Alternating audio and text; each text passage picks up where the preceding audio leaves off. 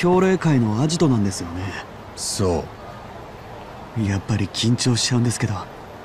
俺もだよ。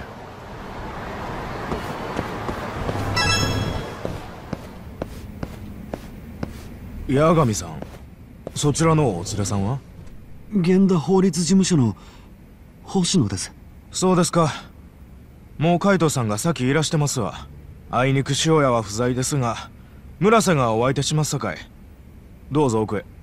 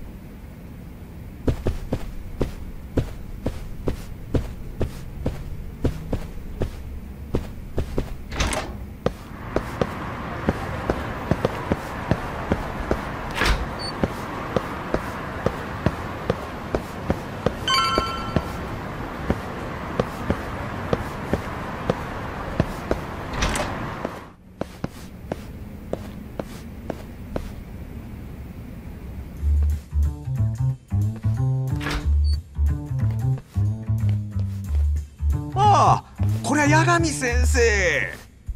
どうぞ中へ。え？いやこれまでのご無礼をお許しください。八神さんの言うことは何でも聞くようにと。そう梶平会長から。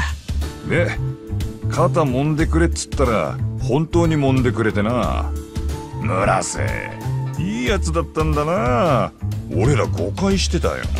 調子に乗りすぎだって。今度は塩屋にも肩揉ませてみるか。いやーそらさすがにやめといた方がええですな。まどうぞおかけになってください。なるほど。じゃあ創薬センターの件やっぱり大久保は白なんだな。彼の反応を見る限りはもしかしたら恋人を殺した件でも無実じゃないかって僕にはそう見えました。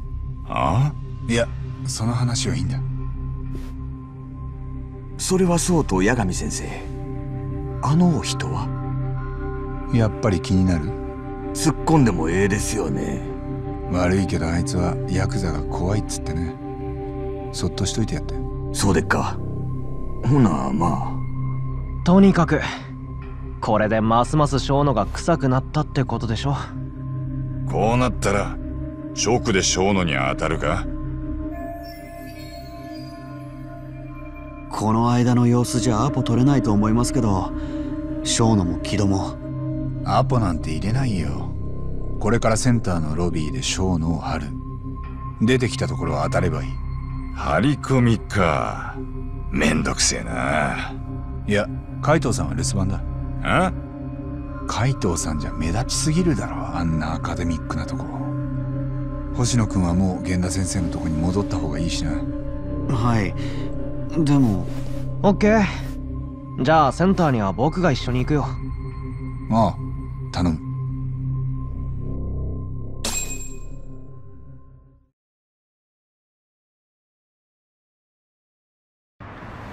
行こう八神さん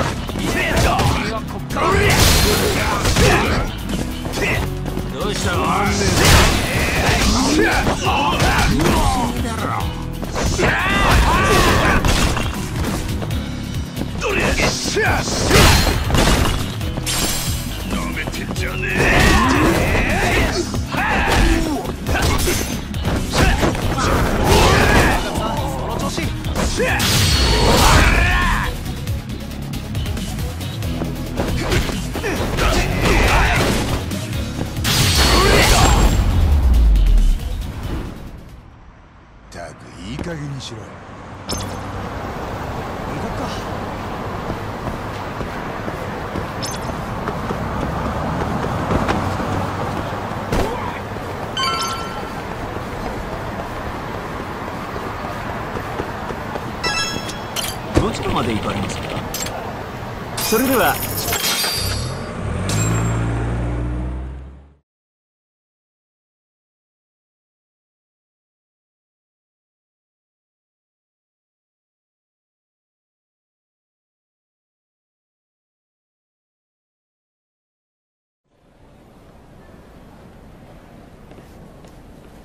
バカでかいな。何なのここ。あんまりキョロキョロすんなよ。なるべく目立ちたくない。小野が出てくるまでここで待つ。でもさショーのもう家に帰ってたりしない？ちょっと確かめようよ。下手したら僕ら一晩中待ちぼうけだよ。ごもっとも。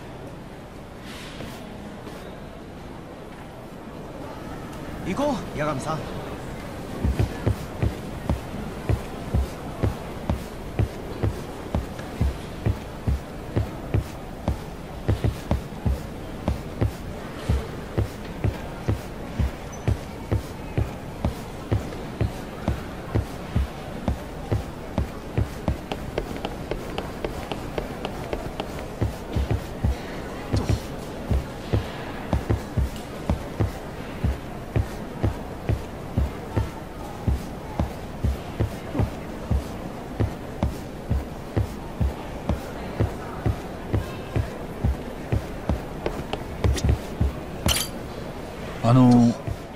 と伺いたいんですけど。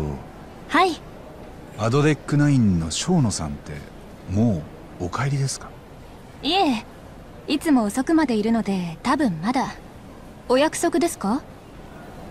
別にそういうんじゃ。こんばんは八神さん。ん？この間小野のところにご案内しました。橋本です。ああ。あそうでしたか。どうも。また小野に何か？いや。いたよ八神さん。小野だ。失礼。どこだ？あそこ。階段で話してる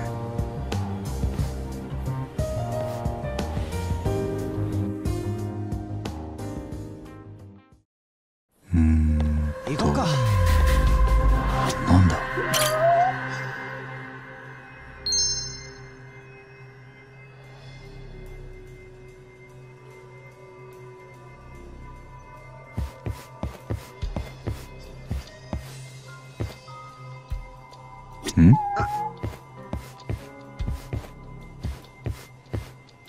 怪しいな。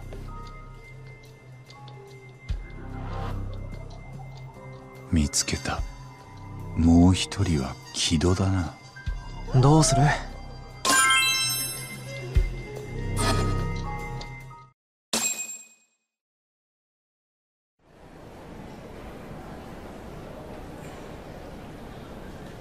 よし行こいやあどうも。八神さんでしたね。カムロ町の探偵さんだ。うあんた。あなたにはもうこのセンターには近づいてほしくないですね。先日弁護士会にも抗議したはずですが。事務次官の方でしたっけ？厚生労働省。一ノ瀬です先日もここにいらしてましたね。随分頻繁に来られてるようで。ええ。アドデックナインの成功は国家戦略の一つです。特許や法整備などこちらで打ち合わせる内容は多岐にわたりますのでね。守衛に追い出される前にお帰りになっては。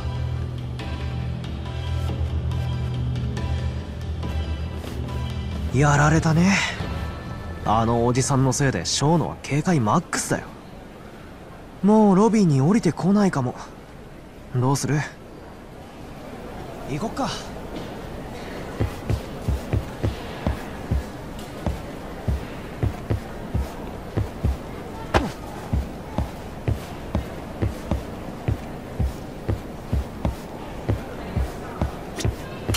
橋本さん先ほどは失礼しました。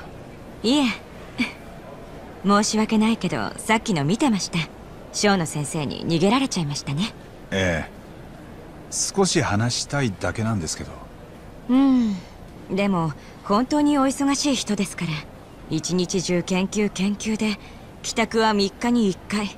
なのに毎朝欠かさず入院棟の患者さんたちを回診してて本当に頭が下がります。あの朝の会心っていうのは？ええ。小野先生の日課で毎朝入院棟を見回るんです。もう何年も続けているそうで。ああ。確か3年前もそうでした。そういう熱心さがすごい新薬を生むんですよね。きっと。すみません。私もうそろそろ行かないと。どうぞ。失礼します小野の研究室はセキュリティ的に入り込みづらい。ゴールドのカードキーっていうのがいる。ただ付属病院の方はそうでもないはずだ。時間も明日の開診までたっぷりある。じゃあその朝の会心で小野を待ち伏せるってこと？ああ。それには夜のうちに忍び込んどけばいい。なるほどね。ならどっから侵入する？案内板を見て考えよ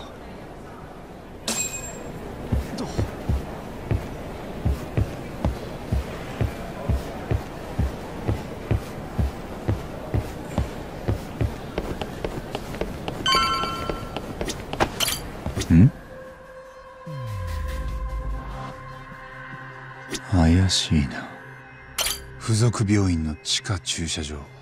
搬入口だ出入りの業者なんかが車を止める。忍び込むならここだな。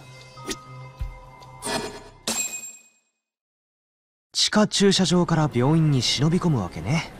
ああまずは侵入口の下調べからだ。一旦外に出よう。行こう八神さん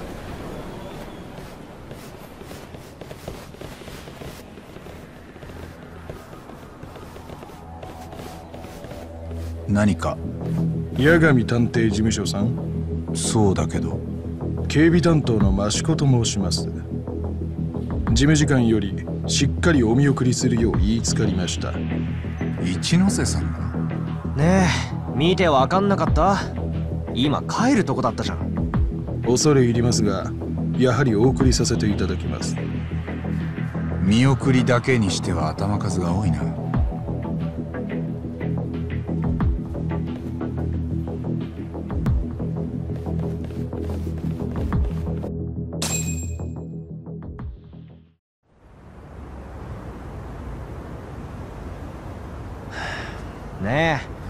どこに連れてっき？いい加減答えなよ。この辺でいいか。益子さんだっけ？一ノ瀬は俺らをどうしろって？もう二度とここへ来る気が起きないようにしろと何それ？ここの守衛はそんなの持ってていいのか？ダメに決まってんだろ。趣味だよ趣味。仕事には使えあー今は仕事じゃないってことか。なあただのお遊びだよ。だからたっぷり楽しませてもらおうか。探偵さんよ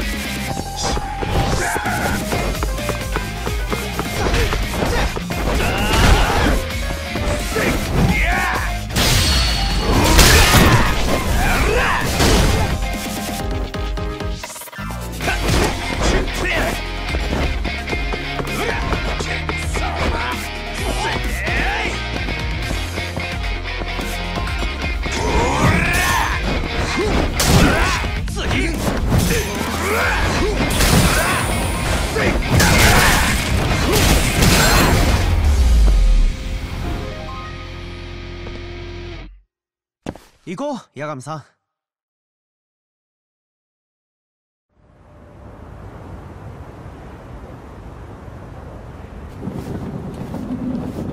おいもう手振らなくていいよ。連中のおかげでかえって簡単に潜入できたね。ああ 結果的にはな。事務次官のおかげだ。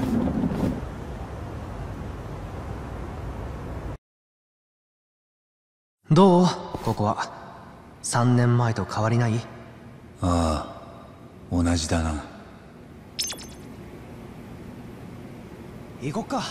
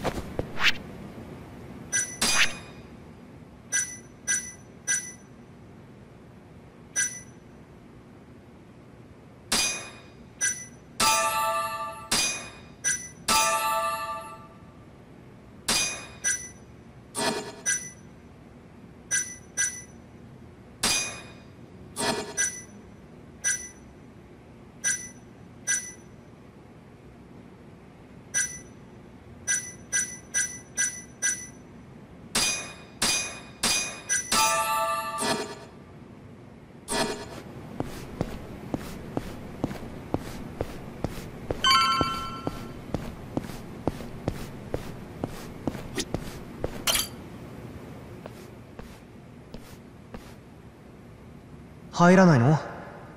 中入ったらもうタバコ吸えないだろう。あとは大丈夫だ。ここで夜明けを待つ。ふん。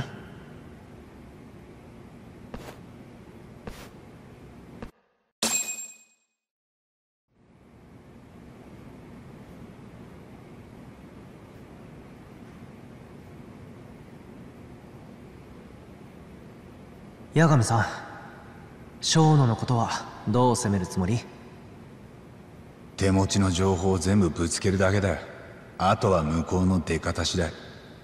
駆け引きはなし？ああ。時間さえあればじっくりやりたいけどな。でも多分綾部の裁判まで小野と話せるチャンスはこれっきりだ。かもね。だったら駆け引きや出し惜しみしてる場合じゃない。そっかじゃあさ僕も小野のことでちょっと考えたことがあるんだけど。ん？なんだよ急に。3年前の創薬センターの事件。あの時小野は大久保に濡れ衣を着せたってことだったよね。ああ。でも八神さんの弁護で大久保は無罪になった。だったらその後警察は別の真犯人を探さなかったの？もちろん探したとは思うけどあれからすぐ大久保君が次の事件を起こしたろだから多分その後は大して捜査してないだろうな。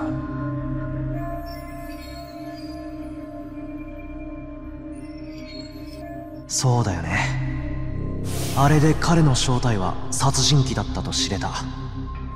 なら最初の事件で患者をやったのも大久保だったろうってみんながそう思うようになった。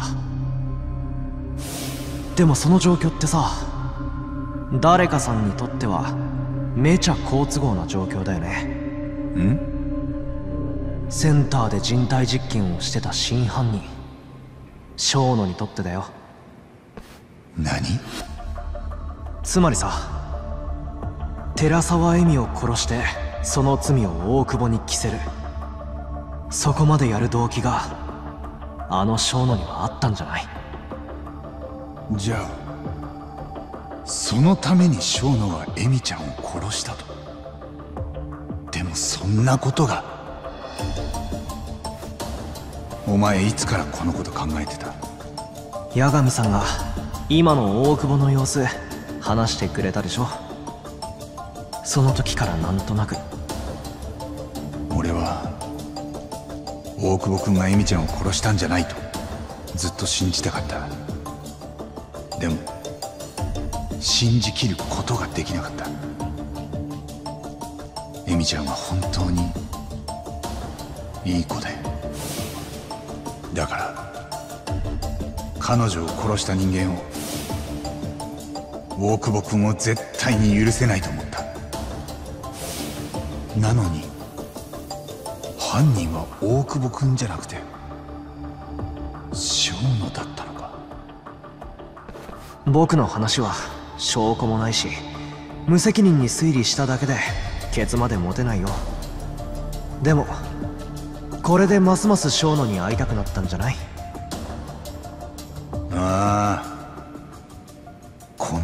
朝が待ち遠しいのは生まれて初めてだ。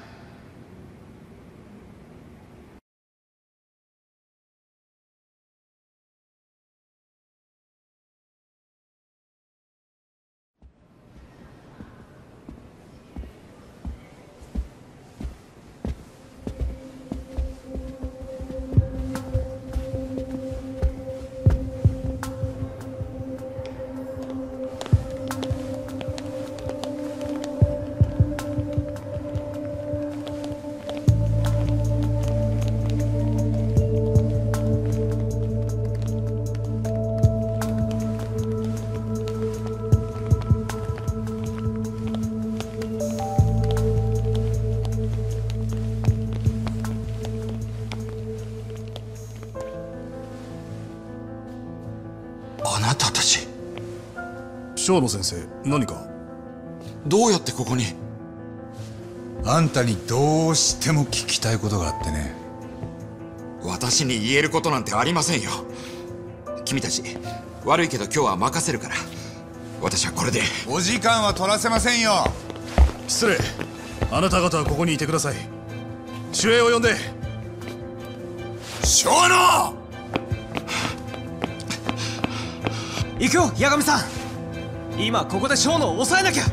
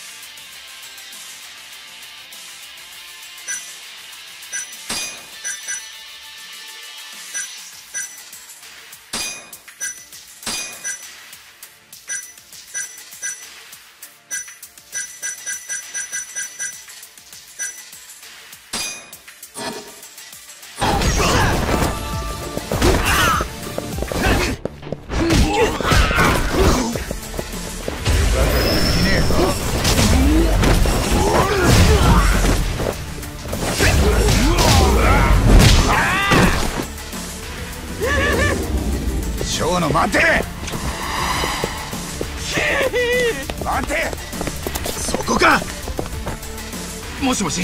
小野です30秒。いいから早く来てください。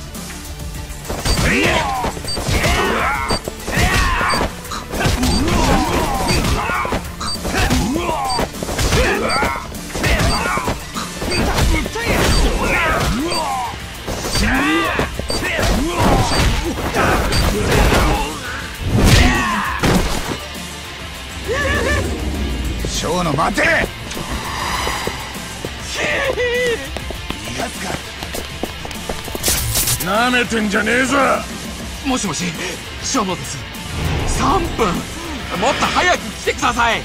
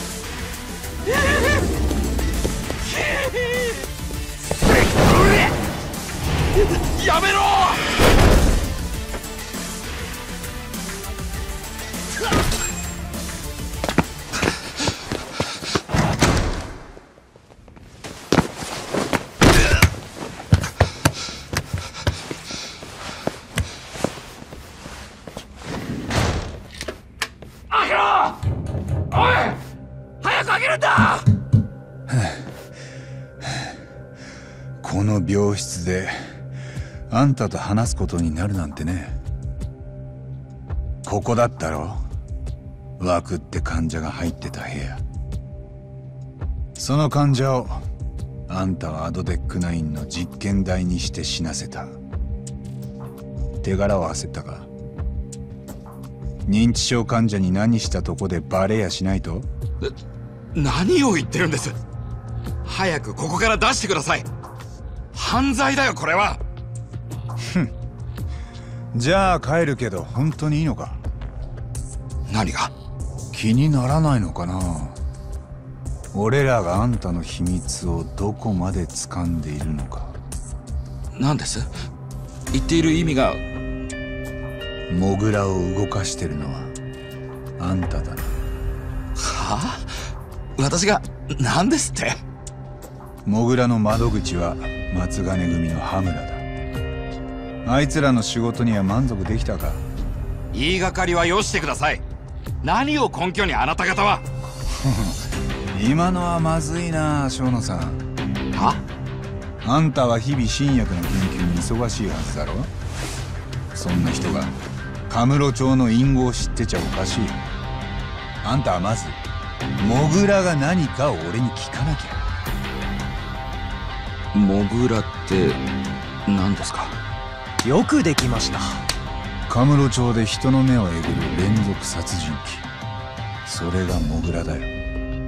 そのモグラが生まれたきっかけは3年前のあの事件だ。あの日あんたはここで寝てた枠さんにアドデックナインを試したな。時間は多分深夜だったはずだから死なせた患者をこっそり部屋の外へ運び出せた。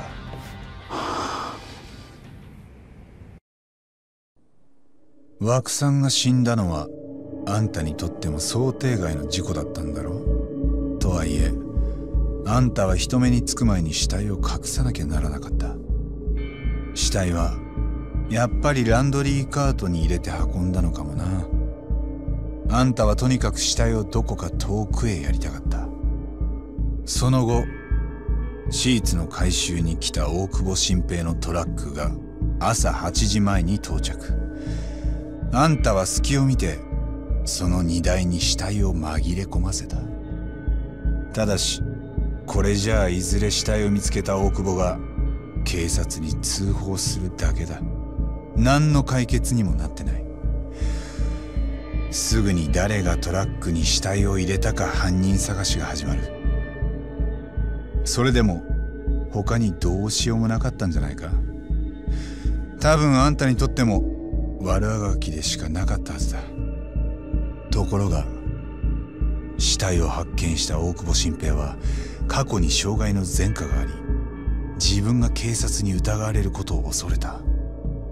そして枠さんの死体は山に埋められ後日大久保本人の自供で発見された。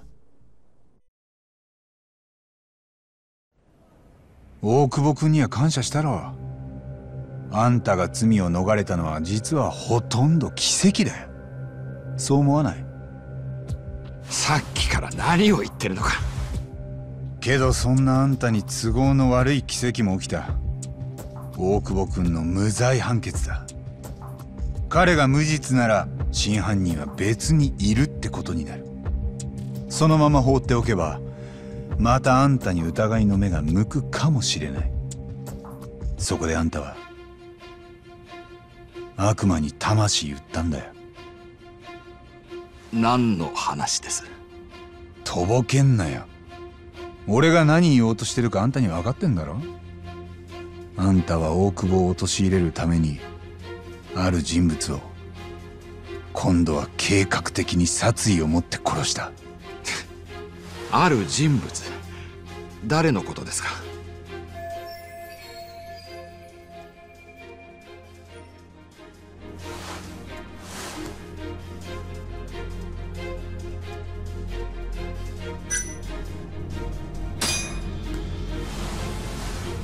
寺沢恵美。あんたにとっては同僚でもあった。大久保新平の恋人。あんたは彼らのアパートに押し入ってまず寺沢恵美を刺した。資料によればその傷は少なくとも15箇所だ。知りません。大久保君が毎晩睡眠薬に頼っていたことは彼女に聞いてたのかなあんたの犯行中目を覚ますことはなかった。断酒してた彼が酒臭かったのもあんたの細工だろう。大久保君に酒の静脈注射でもしたか。それでアルコールの血中濃度が上がる。下手すりゃ死ぬとこだがもしそうなっても別に構わなかったんだ。大久保君が酒を飲んでたであろう状況さえ演出できれば。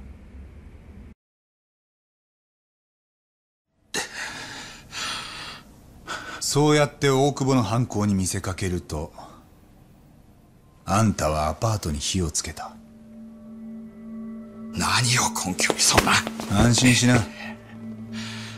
まだ証拠はないよ。でもさっきの推理で間違ってないあんたの目を見ればわかる。なあもしかしたらこんな風に考えてないか？アドデックナインが完成すれば多くの人間が救われる。だから自分は正しいことをしてる。正義だってな。人が一番残酷になるのは自分に正義があると思ってる時だ。でもあんたのそれは本当に正義か？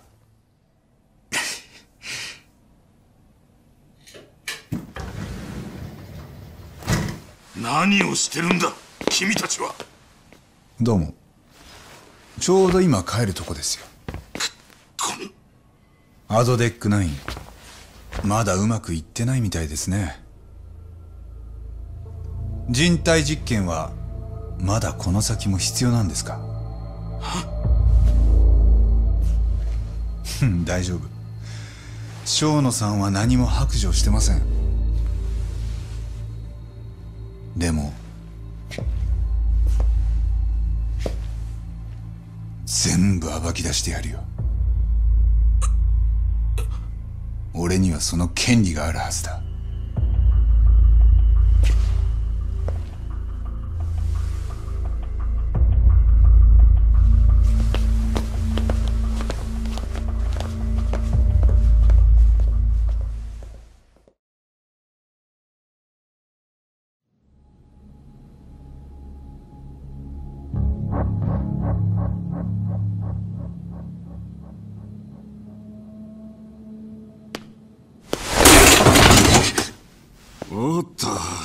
すまんすまん足が滑っちまったよ。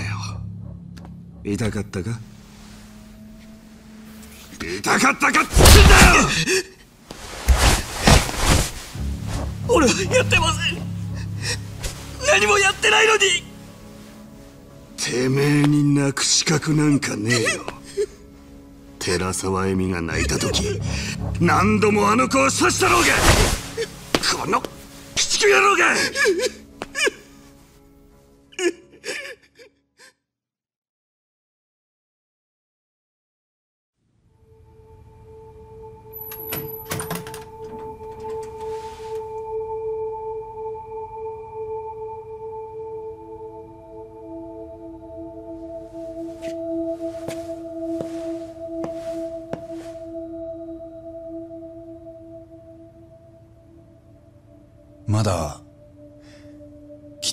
たせられない状況だけどさ。はい？君は無実だよ。今まで誰も殺してなんかいない。だから俺はエミちゃんの敵を討つよ。君もここから出してやる。約束するもっと早くこの言葉を君に言うべきだった。なのに俺は3年も本当に長いこと何してたんだ。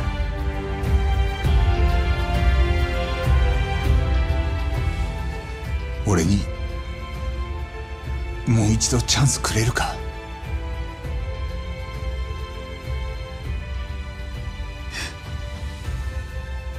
もちろんです。こっちこそ。よろしくお願いします。八神先生。